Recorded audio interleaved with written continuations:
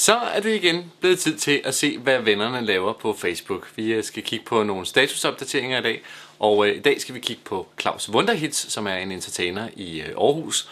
Og lad os lige se, hvad det er, han skriver.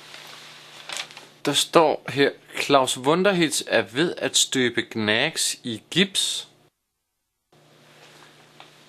Jamen det er der værd lige at kigge lidt nærmere på. Um, vi har faktisk et uh, direkte live link til Aarhus, hvor uh, Claus Wunderhit sidder klar. Og hej Claus! Hej Gordon! Uh, Claus, der står i din statusopdatering, at du er ved at lave gipsafstøbninger af Gnags. Ja, øh, det er faktisk rigtigt. Og jeg vil gerne øh, lige forklare, øh, hvordan jeg gør. Jeg skal lige have klippet den her af. Sådan. Det jeg først har lavet, øh, Gordon, det er, at jeg har lavet en øh, model øh, simpelthen i stoltråd. Man kan faktisk sige, det er Gnaxis skelet. Og øh, det kan man selv lave. Man køber noget stoltråd, og ingen problemer i det. Så øh, har jeg fået fingrene i noget, øh, øh, det vi kalder gipsgase. Og det er så meningen, at jeg vil om, når jeg lige har formet den færdig. Så er ideen, at man simpelthen vikler det Og Prøv at se allerede her, hvordan man allerede kan fornemme, at, øh, at den er ved at være der. Så tager jeg så et nyt stykke her. Har jeg så valgt at gå i gang med armen. Det er måske et meget naturligt sted at begynde, når det er knags. Men, men Claus, sådan noget øh, gips, det er jo et øh, meget, meget kompliceret materiale at arbejde med, er det ikke det? Utrolig kompliceret øh, materiale. Det øh, er jo det, man kalder et forgængeligt materiale og et skrøbeligt materiale. Så skal om, så tager jeg så benene. Jeg vender som regel altid med kroppen til sidst. Det har jeg også gjort med nogle andre, øh, som jeg også har støbt i gips. Så har jeg altid taget kroppen til sidst. Claus, øh, undskyld, jeg lige afbryder dig, men er det ikke McPack, der ligger der i baggrunden? Sig mig, ligger du der, med? Gud, er det i dag? Nå, for søren. Nå, men uh, godt, nu skal du høre, det er fordi, at jeg er begyndt at, at slibe, det andet projekt, jeg er gang i, jeg er begyndt at slibe Lost Kids i, uh, i rav.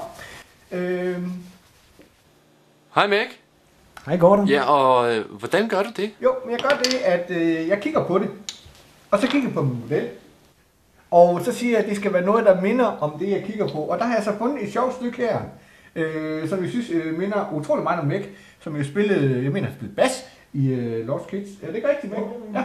Øh, også et fint instrument, øh, som regel et instrument, man øh, begynder med, hvis man ikke øh, det. Men jeg har heldigvis et andet stykke, så der er ingen problemer med det. Ja. Jamen, Hvis man øh, kigger godt på Mac, øh, så man kunne se, at årene ligesom trækker den vej. Det er ligesom hans linjer.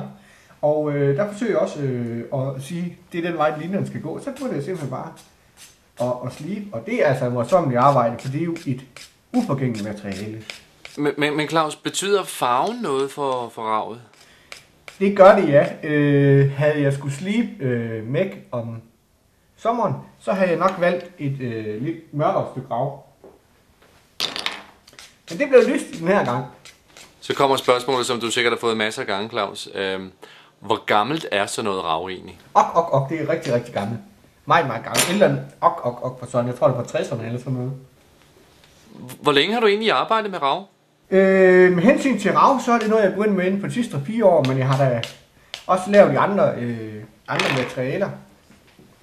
Øh, jeg har blandt andet øh, bøjet Les Humphreys Singers i øh, pil, i pileflet, simpelthen flettet øh, hele orkestret Les Humphreys Singers i, i pil. Jeg ved også faktisk, at du har arbejdet med øh, fedtsten en gang, er det ikke rigtigt? Det, er- det er mere dansktop øh, sanger, jeg har bøjet der. Har jo ikke bøjet pisten på den måde, jeg er mere altså, slebet i det. Jamen, øh, Meg og Claus, jeg vil lade jer være alene, så I kan file løs på hinandens sten. Det var hyggeligt at kigge forbi, Gordon. Ja, og øh, så skulle jeg øvrigt hilse at sige, at man øh, sagtens selv kan lave sin egen figur i gips og rav. Man behøver ikke at have en, øh, en pæk ved hånden, en, en mæk ved hånden. Man kan sagtens selv øh, forsøge sig frem. Tak for nu.